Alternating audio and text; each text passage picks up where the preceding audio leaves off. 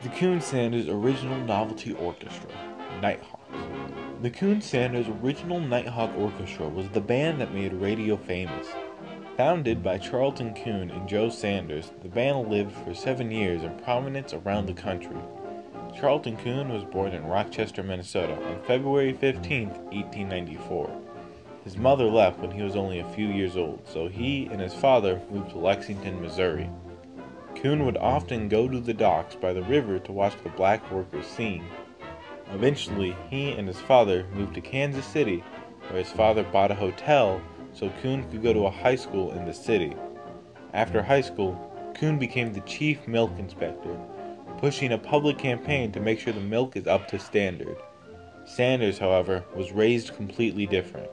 While he was born in Thayer, Kansas on October 15, 1896, Joe Sanders spent most of his boyhood in Belton, Missouri, where his family moved while he was just a kid. He was a prodigy at baseball as well as music. As a young boy, he sang tenor in the choir at Grand Avenue Temple. He also received piano lessons and learned to train his ear for harmony. Eventually, his family moved to Kansas City, where he would attend Westport High School. At night, he would work at the Blue Goose Cafe, singing songs and entertaining the guests. Sadly, one night the cafe was raided by police for continuing to sell liquor after the curfew. By luck, Sanders and Coon would meet at the Jenkins Music Store. Sanders was playing the piano he was looking to buy when the smooth vocals of Charlton Coon joined him. The two immediately hit off a friendship and started to play events around the city. One particular event on October 3, 1918, was a war bond rally for the Great War, led by then former President Theodore Roosevelt. The duo played several songs, including Kick In, one of the four Liberty Loan songs. This made the crowd go wild, all while selling war bonds to help those overseas. Shortly after this, Sanders was drafted into the Army and had to move to Camp Bowie, Texas. While participating in an amateur show, he was offered a transfer to headquarters company to entertain the officers. Sanders formed the Missouri Jazz Hounds and played for the officers even after the war was over. He was discharged in April of 1919 and returned to Kansas City to continue his partnership with Charlton Coon.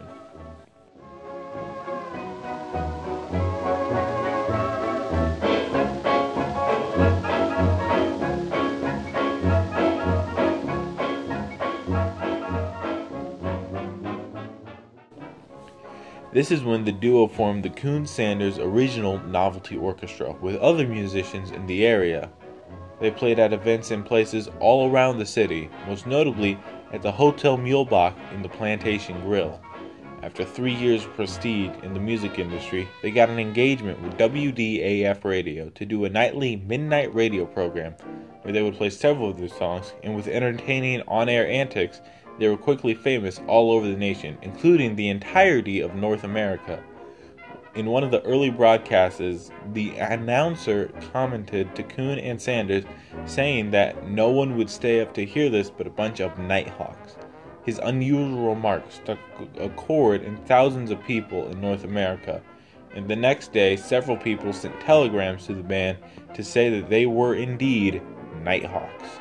So many people were calling themselves Nighthawks that the bands decided to change their name to the Coon Sanders Original Nighthawk Orchestra. With the name change came a fan club and even a new theme song called Nighthawk Blues. While they would play on the radio during the colder months, the Nighthawks played at taverns and clubs during the summer, most notably at the Balloon Room in, at the Lincoln Tavern and the Dells, a club in Morton Grove, Illinois. Eventually, they moved their headquarters to the Blackhawk restaurant in the Congress Hotel in Chicago. However, they kept close ties with Kansas City and would come back home to play engagements often and even raise their families here. Coon and Sanders have always been heavy drinkers. Coon a lot more than Sanders. In an interview with Charles Haddix, the director of the Marr Sound Archive at UMKC, he said that Coon and Sanders both drank. However, Charlton Coon was a heavy drinker and he would forget lyrics to the songs he was supposed to know. Sadly, in 1932, at 38 years old, Charlton Coon died from blood poisoning. Sanders wrote a letter detailing their lives and the happy times they've had together. Sanders lived to be 68 and is buried at Mount Moriah Cemetery. in Kansas City. A man learns to love a partner who has shared the pranks of fickle Dame Fortune. When men have worked together, slept together, and fought shoulder to shoulder, smiled as one when the going was rugged, rejoiced as one heart.